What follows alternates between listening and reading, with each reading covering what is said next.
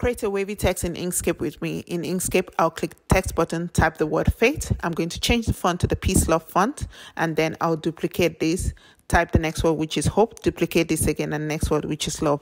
I'll make sure that the width between them is the same thing, and then also I'm going to make sure that they are aligned properly. Once I have that, I'm going to highlight everything, change from object to path, ungroup it, and also unionize everything. I'm going to click on path effect, press the plus button, and then look for the path effect I want, which is latitude deformation.